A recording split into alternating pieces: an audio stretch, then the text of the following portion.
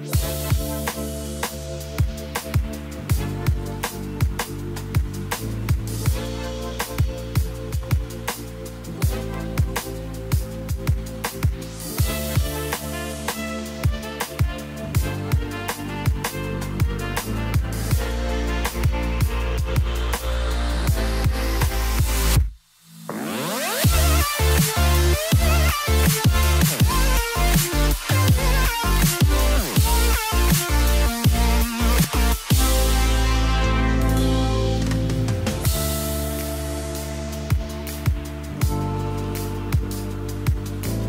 Ini adalah Kia Rio generasi keempat. Nah, kalau kalian yang masih ingat, sebenarnya Rio yang generasi sebelum ini alias Rio generasi ketiga itu lumayan populer loh waktu baru meluncur di Indonesia pas akhir 2011 dulu.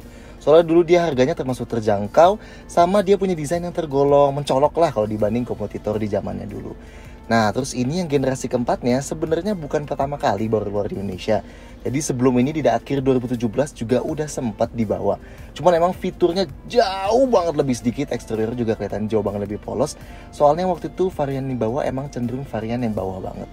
Nah, semenjak Kia di Indonesia dipegang sama Indomobil sekarang, ini sekarang Rio diluncurkan lagi dengan varian yang lebih tinggi. Makanya sekarang dari eksterior kelihatan jauh lebih padat, interior juga kelihatan lebih berisi. Nah terus fitur-fiturnya juga jadi jauh lebih banyak. Bahkan dia dikasih transmisi baru sekarang. Cuman, apakah dia udah pantas buat ngelawan hatchback yang lebih terkenal kayak misalnya Mazda 2, Honda Jazz, atau Toyota Yaris? Nah ini adalah review super lengkap dari Kia Rio dan tonton terus sampai akhir buat tahu alasannya kenapa menurut kita si Rio ini pantas buat ngelawan hatchback-hatchback tadi. Satu, varian. Cuma ada satu varian Rio atau yang disebut All New Rio ini, tapi ada dua pilihan transmisi, manual dan otomatis. Dilihat dari harganya mirip-mirip Jazz RS, Mazda 2R, sama Yaris TRD ya. Dua, eksterior serba tajam. Kalau kalian udah pernah lihat Rio yang generasi ketiga dulu, lihat yang ini pasti nggak bakal asing lah ya. Kia ngebuat desain Rio yang udah disenengin banget dulu itu jadi lebih mengotak, alias ngasih lekukan tajam di sana dan di sini. Kap mesin dibuat jadi lebih panjang, pilar C dibuat lebih kecil, batang penyambung spion di pilar A dibuat jauh lebih pipih, dan setiap bentuk lainnya dibuat supaya Rio yang baru kelihatan punya stance yang lebih proper. Panjang dan wheelbase Rio ini lebih besar dibanding yang sebelumnya, tapi tingginya turun sedikit. Dibanding i20 dan Jazz, Rio sedikit lebih panjang, tapi lebih pendek dibanding Yaris dan ternyata sama panjangnya kayak Mazda 2. Grill Tiger Nose di depannya jelas dipertahankan. Kali ini gak bermotif tapi justru solid dan dibuat jadi piano black kayak gini. Langsung nyambung rata ke lampu depannya yang jauh lebih tipis dibanding generasi sebelumnya.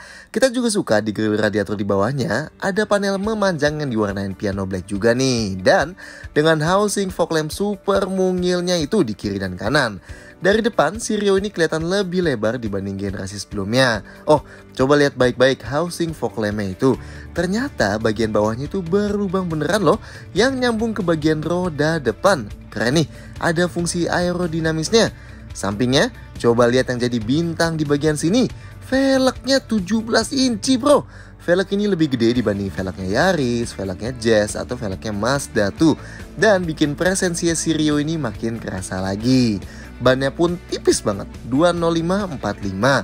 Continental Conti Sport Contact pula. Beuh.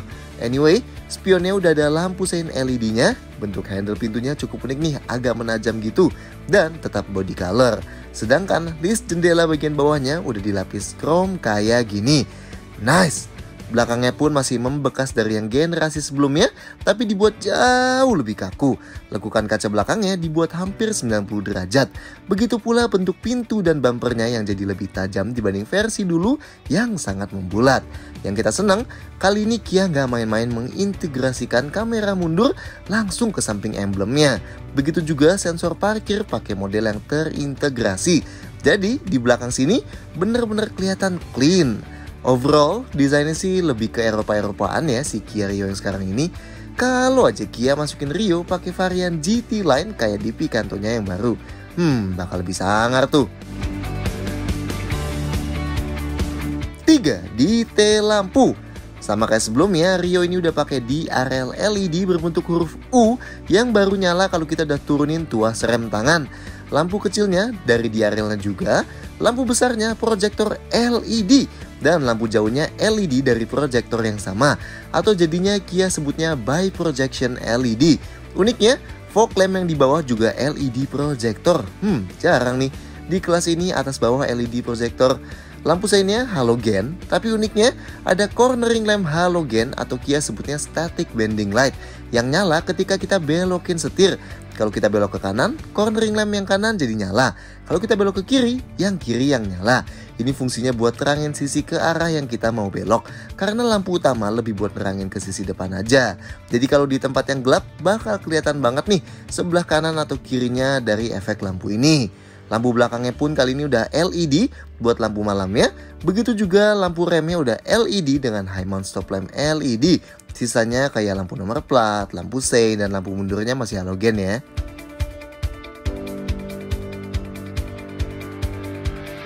Empat, detail interior. Nah, pintu depannya si Rio termasuk berat nih, jadi ngasih feel yang premium dan solid gitu buat hatchback compact ini ya. Terus buat napak ke dalamnya, ini juga tergolong rendah. Set, ya, otomatis posisi duduknya juga emang tergolong rendah banget. Karena emang si Rio yang baru ini posisi duduknya lebih rendah lagi dibanding Rio generasi sebelumnya. Makanya kalau kalian bandingin sama Yaris sama Jazz emang berasa lebih rendah lagi duduk dalam sini ya. Jadi kalau kalian sebelumnya lebih biasa naik MPV atau hatchback hatchback yang posisi duduknya agak tinggi gitu Nah mungkin pas pertama kali naik ini agak nggak biasa ya, agak ngerasa kok kayak tenggelam gitu sih.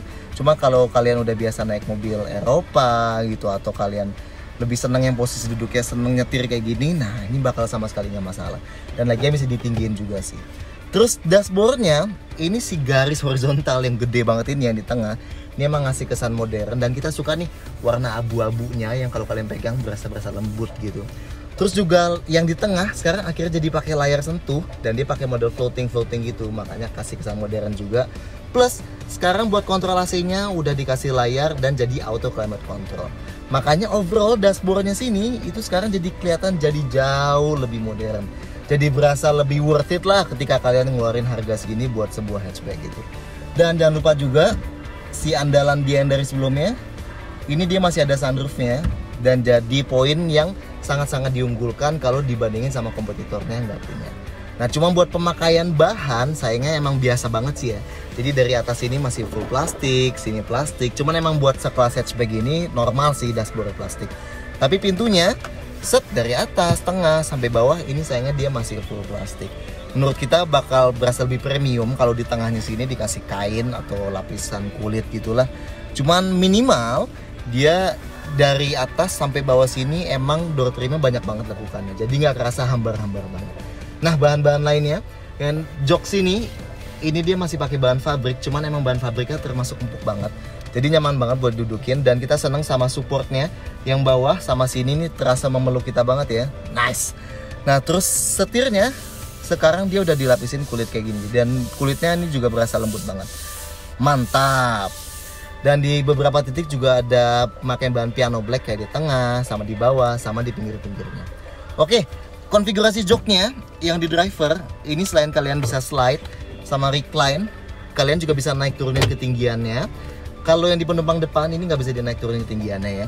Nah terus seat beltnya dia uniknya bisa dinaik turunin kayak gini. Nice. Oke. Okay. nah terus si sandaran kepalanya jadi dia selain bisa dinaik turunin ini juga bisa kalian maju mundurin set. Nah ini unik banget nih buat di kelas nih bisa dimaju mundurin kayak gini. Fungsinya apa sih? Jadi kalau misalnya kalian pengen nyetir sambil sandaran kayak gini nah tapi nggak mau tegak-tegak banget sandarannya nah ini cukup kalian majuin aja. Set. Nah gitu. Jadi tetap bisa rebah santai tapi kepalanya tetap bisa sandaran. Nah sambil nyetir kayak gini. Mantap. Set. Nah terus buat sandaran tangan yang di tengah ini udah dikasih armrest yang lumayan tinggi ya. Dan dia uniknya ini udah bisa digeser maju mundur kayak gini set set. Nah jadi kalau dibantuin kayak gini ini bisa kalian sandaran sambil pegang setirnya kayak gini. Dan ini juga udah dilapisin kulit jadi empuk. Mantap. Yang di pintu kayak yang tadi kita bilang masih plastik jadi masih keras buat sandarin tangan. Terus yang sandaran kaki kiri driver udah dikasih pad plastik. Setirnya nah dia keren ya. Selain tilt udah bisa teleskopik. Cuman kalau kalian lihat teleskopiknya bener-bener luar biasa jauh dari dashboard kayak gini. Mantap. Oke, detail-detail lainnya. Dia yang sebelah driver ini belum ada buat pegangan tangannya. Yang penumpang depan udah dikasih. Terus juga lampu kabinnya di depan sini udah ada dua, yang kanan kiri. Dan ini masih halogen ya, no problem. Nah terus sun visornya, tada, dia di kiri dan kanan sama-sama udah ada card holdernya dan juga di kiri dan kanan sama-sama udah ada kacanya yang bisa ditutup buka kayak gini plus udah ada lampunya lagi di kiri dan kanan dan ini lampunya otomatis mati kalau kalian tutup mantap set set dan buat spion tengahnya dia udah pakai day and night manual jadi kalau silau tinggal cetekin aja kayak gini Oh, khasnya Kia, kalau malam-malam tombol-tombolnya disinarin backlight warna merah. Dan keren ya, bahkan sampai USB port plus aux input di tengah aja ikutan nyala kalau malam. Plus USB port yang di belakang juga. Plus tombol setiap jendela di pintu mana pun juga ada lampunya. Sayangnya cuma dikontrol spionnya aja nih ya nggak ada backlightnya.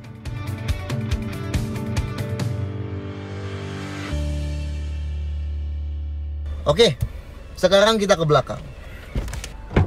Nah, pintu belakangnya ini emang gak seberat yang depan sih. Cuma buat sebuah hatchback compact ini masih termasuk lumayan berat lah. Terus buat napak ke dalam, ini kepala kita nggak perlu nekuk-nekuk banget. Jadi masih gampang masuknya. Set. Nah, posisi duduk kita di belakang sini lebih tinggi dibanding yang depan. Cuman emang joknya nggak sempuk yang depan ya. Cuma masih termasuk nyaman banget sih. No problem. Oke, ruang kakinya. Set. Nah, ini kan sekilas emang kelihatan masih banyak ya sisa ruangnya. Jadi emang masih lega juga. Dan ini emang ruang kakinya lebih gede dibanding di Kia Rio yang sebelumnya. Cuman kalau kalian lihat space overallnya gitu rasa kelegaan duduk di belakangnya itu emang masih jauh lebih lega kalau kalian duduk di belakangnya misalnya Honda Jazz gitu ya. Hatchback yang mengotak banget. Nah itu soalnya emang hatchback hatchback compactnya di Korea kayak gini itu dia kiblatnya justru cenderung ngikutin yang kayak hatchback hatchback compact di Eropa karena emang kalau kalian bandingin sama segmen B hatchback-hatchback Eropa lainnya, misalnya Ford Fiesta, misalnya Renault Clio, atau misalnya Peugeot 208. Nah, ini ruang kakinya Sirio ini tergolong lebih luas kalau dibanding mereka. Cuman karena kita di Indonesia gitu udah terbiasa sama hatchback mengotak kayak Jazz atau bahkan LCGC deh yang ruang belakangnya luas banget kayak Brio Sate yang baru atau misalnya Agia Ayla gitu kan belakangnya luas banget. Nah pas naik ke belakang Rio ini pasti wah ternyata nggak seluas itu gitu ya. Padahal sebenarnya kalau dibanding kompetitornya di Eropa sih dia masih luas. Cuma ya kalau di Indonesia kayak gini di belakangnya nggak tergolong spesial-spesial banget. No problem lah, yang penting masih muat.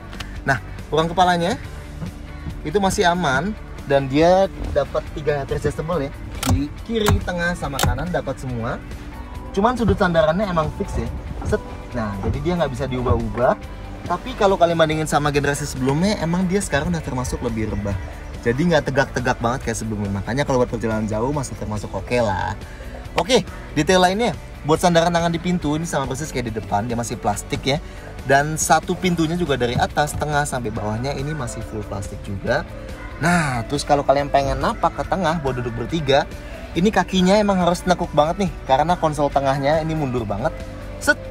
Kalau udah nekuk gini, Ya, karena lantainya nggak full rata, jadi kaki kita masih ke kiri kanannya gini. Terus gundukan di bawah sini, ini juga lebih tinggi dibanding kiri kanannya. Cuman emang nggak lebih keras sih, masih enak juga nyaman sini. Dan belakangnya itu juga masih termasuk empuk. Dan dia juga yang kayak tadi kita bilang udah disediain headrest, makanya duduk di tengah sini sebenarnya masih termasuk oke. Okay. Cuman emang nggak dapat support kayak di kiri kanan kayak gini. Dan sayangnya itu di tengah sini masih pakai seatbelt dua titik kayak gini. Hmm, oke. Okay di tengah sini sayangnya nggak ada armrest lipat. Set.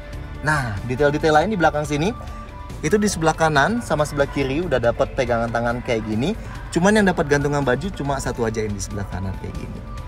Oke. Nah di sini juga nggak disediain AC ya di mayoritas kompetitornya. Cuman sayangnya kalau kalian ingat i20 yang jadi saudaranya itu dia udah dapat AC di belakang sini sayangnya di Rio belum ada sebenarnya sih nggak masalah ya karena ukuran kabinnya kan gak gede-gede banget Cuman kalau lagi di panas teriknya Jakarta gitu ya, mungkin bakal agak lama buat dinginnya sampai ke belakang sini. Sama jendela ini, meskipun ukuran lumayan kecil, tapi dia kebuka bisa sampai full segini. Oke. Okay. 5. Transmisi otomatis baru. Rio pakai mesin 1400cc berkode Kappa. Nah, ini beda nih sama 1400cc yang di Rio generasi ketiga ya, yang berkode Gamma yang dulu itu. Mesin Kappa ini punya tenaga yang lebih kecil, cuma 98 HP aja, dan torsinya 133 Nm. Tapi emang karakternya dibuat lebih pas buat pemakaian perkotaan dibanding di mesin yang Rio dulu.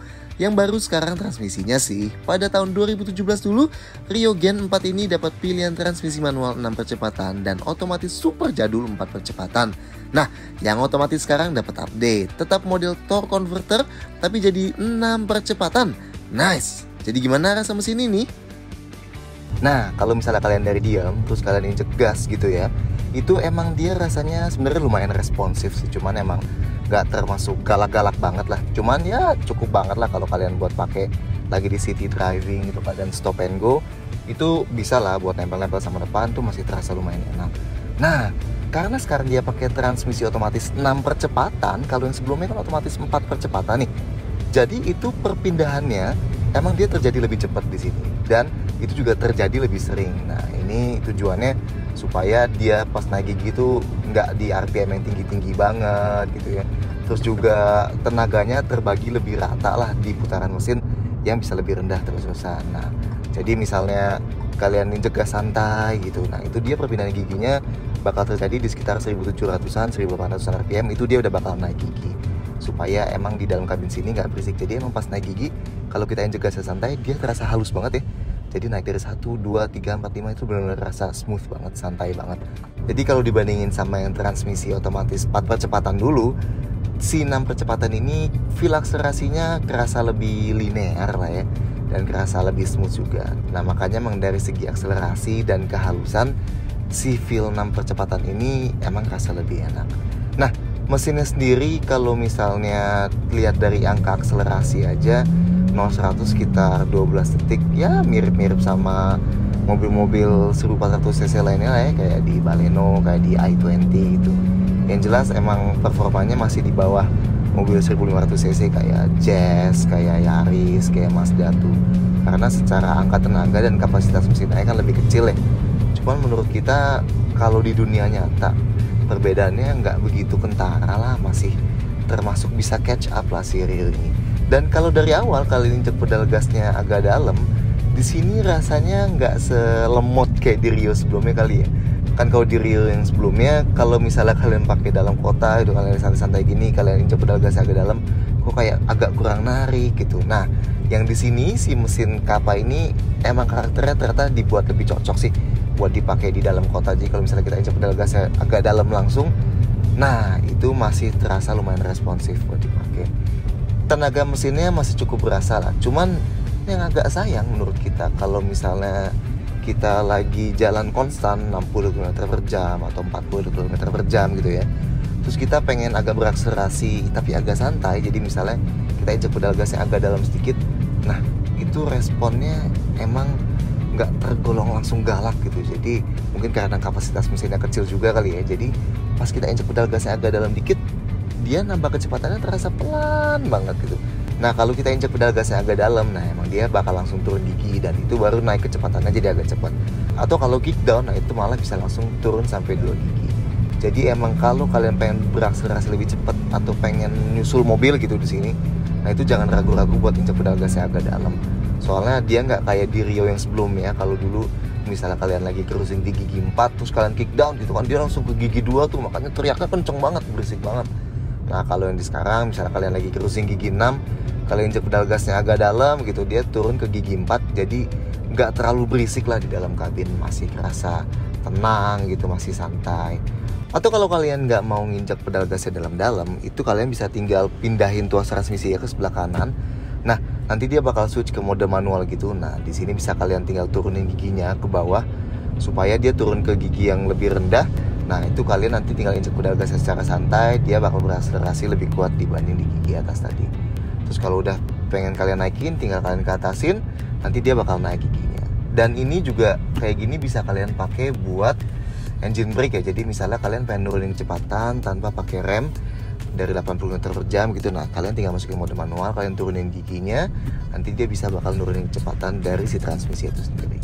Nice overall emang si mesin kapas sama si transmisi baru ini jadi lebih cocok lah buat dipakai di perkotaan dibanding di Rio sebelumnya. Nah kalau soal konsumsi bahan bakar emang nggak sespesial di Baleno gitu ya, cuman menurut kita masih termasuk oke okay lah di sini. Namanya juga mobil dengan kapasitas mesin kecil ya kan, cuma 1400 cc. Jadi kita ngetes sejauh 350-an kilometer untuk kombinasi, rute ketemu macet, ketemu jalan tol juga banyak, terus pas lagi syuting itu kita juga nyalain mesinnya lama banget buat nyalain AC-nya. Nah itu kita masih dapat angka konsumsi di sekitar 11,5 11,6 km per liter. Ya masih lumayan bagus lah. Dan kalau dibanding Rio sebelumnya emang jadi lebih gampang buat dapat konsumsi yang lebih baik di sini. Mungkin karena transmisi yang barunya tadi juga dan karena si mesin kapal yang baru ini juga. Oke. 6. Fitur bertambah drastis. Dari generasi 3 dulu emang Rio yang masuk Indonesia nggak pernah ada yang punya fitur banyak. Ya namanya buat ngejar harga ya kan. Tapi yang ini harganya udah mirip kompetitor nih. Untung secara fitur juga terbilang oke. Okay. Yang baru di sini Passive keyless entry alias kita dapat kunci model smart key yang lebih keren ini. Dan ini kalau mobil kita kunci, terus kita mau buka kunci mobilnya, remote-nya cukup kita kantongin aja. Deketin mobilnya dan kita klik deh tombol hitam yang ada di handle sisi driver ini dan kebuka kuncinya. Kalau mau kunci lagi, tinggal klik lagi aja. Dan si tombol hitam ini juga ada di sisi handle pintu penumpang depan ya. Dari kunci ini juga ada pembuka kunci bagasi. Maksudnya kalau kalian tahan tombol ini, nanti kunci khusus yang bagian bagasinya aja bakal kebuka. Jadi remote-nya bisa kalian tinggalin deh dan kalian bisa buka bagasinya dengan keadaan pintu lain tetap terkunci. Dan begitu pintunya kalian tutup, bagasinya pun bakal kekunci lagi. Dan tentunya yang sepaket juga, sekarang ada tombol start stop mesin ini. Nice! Head unitnya, nah ini nih, sekarang pakai layar sentuh model OEM dari Kia globalnya. 7 inci, ada tombol fisikal di sekitarnya, plus dua knob buat volume dan tracks yang sangat mempermudah operasi kalau lagi jalan dan bahkan ada backlightnya nih knob-knobnya. Ini tampilan home screen head unitnya, bisa putar media dari radio atau USB port atau aux input yang ada di bawah dan terintegrasi gini, jadi nggak bikin berantakan di atas kalau lagi koneksiin kabel. Tapi favorit kita sih sekarang ada Apple CarPlay dan Android Auto. Kalau koneksiin iPhone bakal muncul CarPlay kayak gini. Jadi kalian bisa proyeksiin Google Maps atau Waze langsung di sini dan bisa sambil dengerin lagu dari Apple Music. Yang keren, CarPlay dan Android Auto di sini kayak terintegrasi dengan baik di home screen-nya head unit. Jadi lagu yang lagi kita putar bakal kelihatan langsung di home screen dan dari luar kita bisa klik Maps ini dan bakal langsung masuk ke G Maps contohnya. Nice, bisa bikin shortcut juga dan setting-setting yang uniknya ada buat bikin volume tambah kenceng kalau kita jalan makin kenceng dan sebaliknya. Nice, emang premium ya kalau pakai head unit bawaan versi global. Speakernya sekarang 6 ya, 4 plus 2 Twitter. Ada tombol pengatur audio di setir plus Bluetooth teleponi dan voice command buat Siri dan Google Now. Tombol yang di kanan buat atur MID.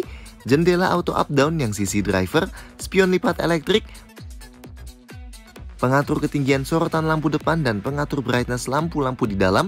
Oh, dan satu power outlet ngumpet di depan sini ya. Kalau yang di belakang adanya USB port buat charge HP.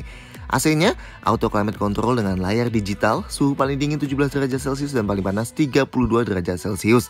Jadi ada heaternya nih. Ada buat atur arah angin ke kaki, ada mode defrost kaca depan, dan ada defogger kaca belakang. Oh, dan dari MID kalian juga bisa ganti satuan unit di AC-nya ini jadi Fahrenheit.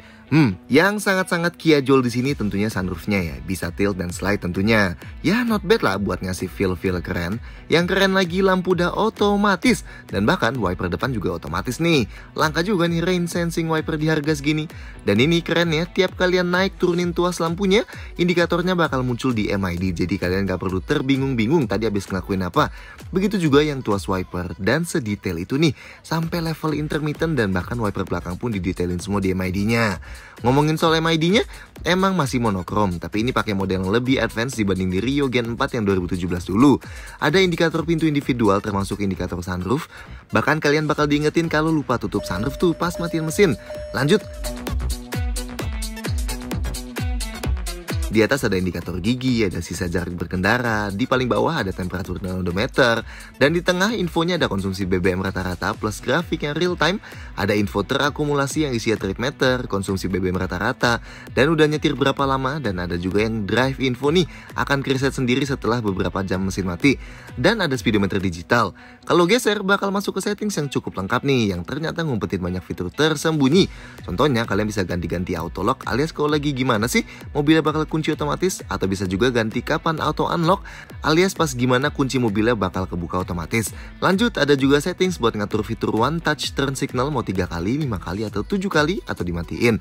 Ada juga headlight delay yang kalau dinyalain bakal bikin lampu depan tetap nyala beberapa detik setelah mesin dimatiin. Ada fitur buat munculin display pas ngubah tuas wiper dan lampu tadi dan ada pengingat servis yang bisa kita atur sendiri mau nyala setelah berapa kilo atau berapa bulan. Oh, kalian juga bisa atur kapan konsumsi bahan bakarnya ke reset otomatis ya. Ganti-ganti satuan unit, ganti bahasa, dan lain-lain. Fitur detail lain juga ada kayak kalau kalian tinggalin lampunya di auto, pas malam-malam kalian buka kunci mobil bakal disambut dengan lampu depannya yang nyala. Mantap! Kalau ditanya apa kurangnya, ya mungkin ada yang cari cruise control atau pedal shift. Di sini nggak ada. Atau kalau kalian lihat yang di depan tuas transmisi ini, kenapa kosong semua? Well, di yang versi global, ini diisi sama heater jok depan, heater setir, dan tombol buat mati nyalain idling stop engine. Jadi ya masih wajar sih yang di sini nggak dimasukin sebenarnya. Tapi deretan buat fitur yang dimasukin ke sini aja menurut kita udah sangat-sangat luar biasa buat hatchback sekelas ini. Well done lah Kia. 7. Bagasi dan storage Nah, bagasi Sirio ini udah nyambung sama sistem smart key-nya dia. Jadi kalau misalnya nih mobil kita kunci, set. Nah, buat buka kunci bagasinya, ini tinggal kita kantongin aja. Terus kita tinggal deketin mobilnya sama klik satu-satu tombolnya di sini. Tada, pintunya bakal kebuka. Tapi semua pintu lainnya masih bakal kekunci. Mantap. Nah, bagasinya sendiri ini bibirnya emang tergolong mengotak banget. Jadi kalau kalian pengen masukin barang yang lebar, ini masih termasuk gampang ya masukin ke sini. Nah, terus detail-detail yang ada di belakang sini, ini di paling kiri sini ada satu lubang nih, bisa buat kalian masukin kotak P3K atau apalah. Sama di sini ada beberapa gantungan nih. Di kiri sini ada, di kanan sana ada satu, sama di bawah parcel shelf ini aja bahkan ada. Ini jadi bisa kalian pakai buat gantungin plastik-plastik belanjaan gitulah biar nggak ke mana-mana kalau di sini. Sama di sebelah kanan sini ada satu lampu halogen buat nerangin kabin yang ada di sini. Nah, di bawah lantai bagasinya ada ban serep full size yang velg yang dipakai itu mirip sama velg yang dipakai di sekarang. Mantap. Sama ini keren ya. Bisa kalian pengen ganti ban, ini nggak usah kalian tahan terus nih. Ini bisa kalian sangkutin ke tuas buat barang belanjaan yang tadi. Tada, jadi nggak usah pegel-pegel pegangin terus atau taruh di luar terus taruh lupa lagi di dalam. Ya nggak? Mantap.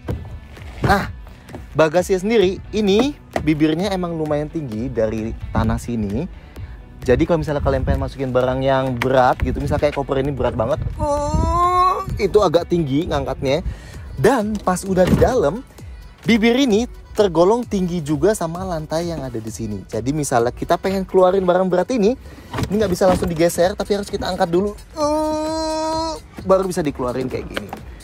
Nah, ini bakal agak sedikit menyusahkan kalau kalian masukin barang-barang yang berat-berat kayak gitu. Dan sekarang tes koper. Si koper medium ini masukin lagi nih ya. Ini mau kalian tidurin kayak gini atau mau tidurin kayak gini itu nggak masalah sih, bakal muat pasti. Atau kalau kalian berdiriin juga ini juga bakal muat. Nah, kalau diberdirin kayak gini ukurannya mirip sama kurang lebih air galon kayak aqua aqua galon gitu. Jadi ini bisa kalian masukin sekitar 3 atau 4 di belakang sini, masih nggak masalah. Mantap. Nah, kalau misalnya si koper yang raksasa ini keren ya. Ternyata bisa kalian tidurin kayak gini juga. Jadi ternyata ukuran bagasinya termasuk lebar juga ya. Sama kalian tidurin kayak gini pun ini masih bisa muat bahkan dengan ada parcel shelf kayak gini.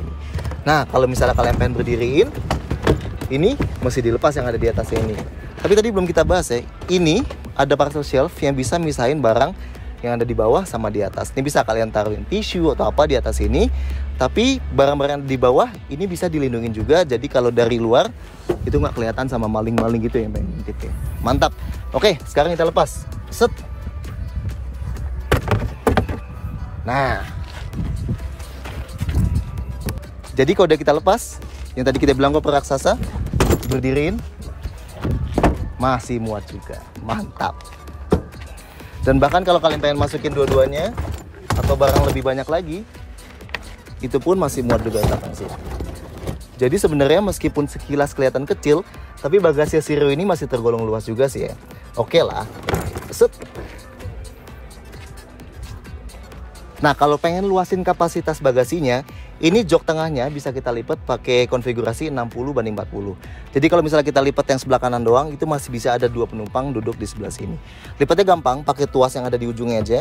tarik kayak gini set nah dia bakal kelipet sama yang sebelah sini juga cuman emang sayangnya dia nggak kayak Rio yang varian tinggi banget di versi global yang dikasih lantai palsu gitu ya supaya rata di sini lantainya sama sekali nggak rata jadi ada gundukannya kalau misalnya kalian pengen geser barang dari belakang ke depan itu nggak bisa langsung harus diangkat dulu ya baru bisa ke depan sana no problem sih cuman bakal lebih enak kalau ada lantai palsunya buat bikin lantainya rata aja nah di atas sini buat nutupnya dia disediain dua nih.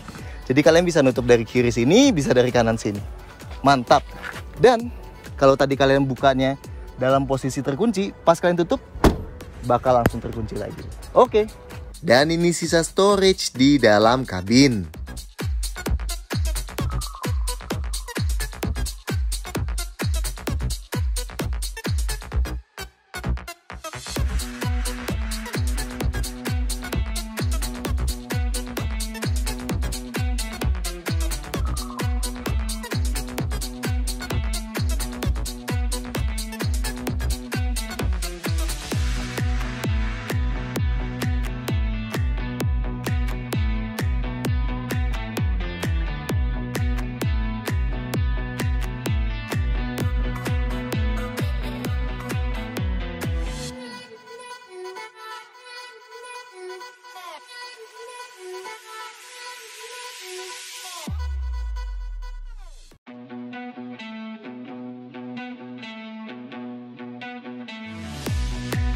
8. Kenyamanan dan handling.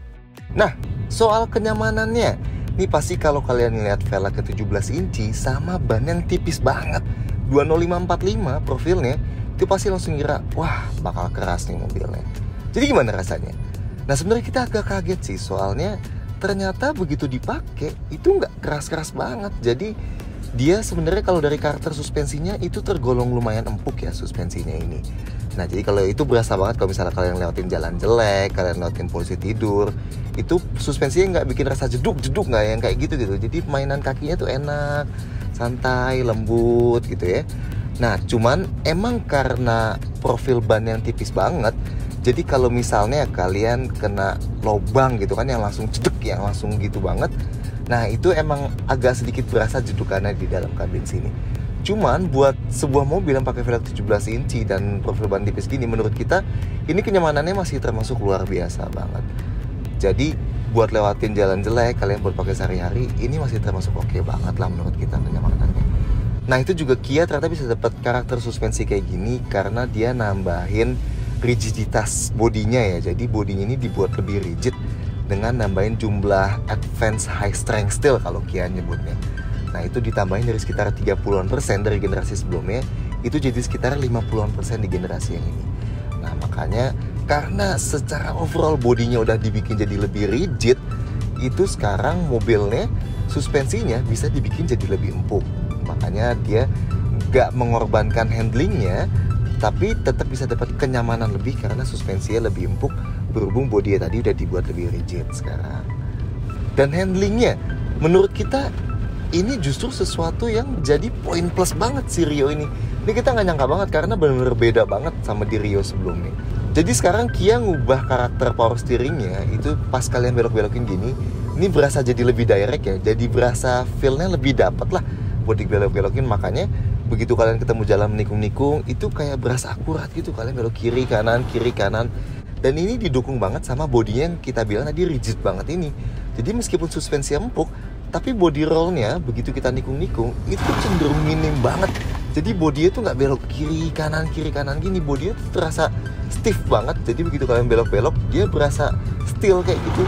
Nah jadi karena body roll udah berkurang drastis makanya tuh ngasih feel lebih pede ke kitanya kalau kita pas belok-belok gitu. Nah karena feel kita lebih pede juga terus tadi kita bilang setirnya juga sekarang lebih berasa buat belok-belok.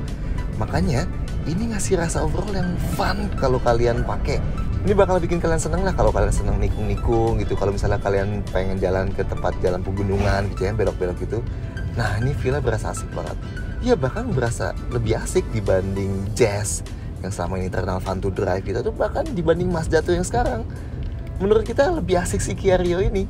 Emang kedengarannya agak-agak gimana gitu ya sebuah mobil Korea yang handlingnya keasikan handlingnya itu lebih baik dibanding sebuah mobil Jepang. Cuma ya begitulah mungkin yang kayak kita sebutin pas kita ngomongin interior tadi karena kiblatnya mobil-mobil Korea ini Kia dan Hyundai ini ini nggak ngelihat mobil-mobil Jepang ketika mereka ngedesain mobil gini mereka ngelihat mobil-mobil Eropa gitu. Nah nah handlingnya Sirio ini emang bukan ditargetin buat nyerupain handlingnya Mazda tuh handlingnya Jazz gitu ya.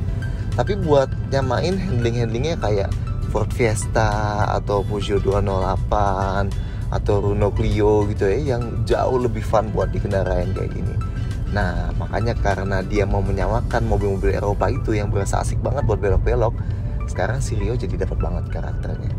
Makanya Sirio ini menurut kita kombinasi kenyamanan buat dalam kotanya plus handlingnya tadi. Nah sekarang kombinasi kedua jadi benar-benar dapat banget. Ini jadi mobil yang asik banget lah buat kalian pakai harian. Nice. Tapi inget ya, belum ada stability control di sini. Jadi sepede-pedenya mobil ini pas nikung, kalian tetap harus hati-hati kalau nikung kenceng pas jalanannya lagi licin. Anyway, faktor kenyamanan lainnya kayak Rio yang dulu juga, suara mesin di sini tergolong sangat-sangat tenang. 100 km per jam kali ini standby di 2100 rpm di gigi 6. Suara bannya juga ternyata tenang loh, tapi karena profilnya tipis banget, jadi udah pasti kalau kalian ketemu aspal yang berbatu, emang jadi agak berisik. Sedangkan kekedapan dari suara luar termasuk sangat baik di kelas ini. Nice! 9. Detail fitur safety Sebenarnya fitur safety di Rio ini termasuk biasa aja sih. Tapi minimal kalau kalian bandingin sama Jazz RS masih sedikit di atasnya lah. Contohnya rem belakangnya Rio yang sekarang udah pakai rem cakram. Nice, tentunya udah ada ABS. Yang keren lagi, di sini udah ada kamera mundur yang modelnya terintegrasi langsung gini. Nah, karena bawaan pabrikan Koreanya, jadi kualitasnya pun termasuk jempolan. Dan bahkan udah ada garis dinamisnya yang ikut belok-belok tiap kali kita belokin setir. Nice! Dan ada sensor parkir 4 titik di belakang yang terintegrasi. Ini kelihatan bersih banget di belakang ini. Dan ini ada indikatornya langsung juga loh di MID. Nice! Sisanya lebih standar dual airbag, titik isofix di jok belakang, dan udah sih itu aja. Jadi emang belum sekomplit Yaris dan Mazda 2 yang sampai punya 6 airbags atau ada stability control segala ya. Atau kalau kalian bandingin sama Rio versi global yang banyak fitur safety pintarnya, nah di sini belum ada juga. Tapi dibanding Rio yang sebelum-sebelumnya keluar di sini, ya jelas paling baik yang inilah. 10. Detail-detail lain dan kesimpulan. Beberapa detail lain yang minor, di kap bensin Rio ini ada tulisan rekomendasi bensin RON 91 Plus. Artinya, sebisa mungkin pakai bensin kayak Pertamax atau Shell Super dan sejenisnya lah yang oktan RON 92. Lanjut, washer wiper yang dipakai udah pakai model yang tersebar rata kayak gini. Nice. Oh, dan kita yakin kalian banyak yang bertanya-tanya soal banyaknya dealer Kia yang tutup belum lama ini kan? Well, itu dealer sisa Kia ketika dipegang perusahaan sebelumnya. Nah, kita udah tanya Kia yang baru ini dan mereka bilang dari sekarang pun mereka sedang dalam proses membuka beberapa dealer baru. Dan karena di bawah payung Indomobil, sekarang pun sedang dalam proses beberapa dealer Nissan Datsun yang lagi dikonversikan jadi dealer Kia. Dan saat meluncurkan Kia Seltos yang gak lama lagi, ups, spoiler, Kia yang baru di bawah Indomobil ini juga bakal mengumumkan kejelasan mereka lagi di Indonesia. Oke lah ya, kita tunggu aja. Anyway, kesimpulan mobil ini, jadi kenapa si Rio pantas diperhitungkan? Nah, menurut kita, kalau kalian segitu senangnya nyetir, Rio ini bisa jadi kandidat nomor satu karena handlingnya yang luar biasa itu dengan tingkat kenyamanan yang masih sangat luar biasa. Buat sesuatu yang pakai ban setipis ini, menurut kita bikin Rio punya kombinasi kenyamanan dan handling yang lebih baik dibanding Jazz atau Mazda 2 sekalipun. Soal tenaga atau irit-iritan mungkin bukan yang paling baik, tapi paling gak transmisi 6 gigi barunya ini bakal bikin Rio juga lebih cocok lagi buat dipakai jalan jauh. Dan yang jelas paling menonjol di kelasnya soal fitur-fiturnya. Di luar fitur safety-nya, menurut kita paket yang ditawarin Rio ini bisa disebut salah satu yang terbaik di kelasnya. So gimana menurut kalian soal Kia Rio ini? Silahkan sampaikan komentar kalian di bawah. Klik like dan jangan lupa subscribe ke channel YouTube Car Indonesia supaya kalian sama video-video kayak gini lainnya. See you next time.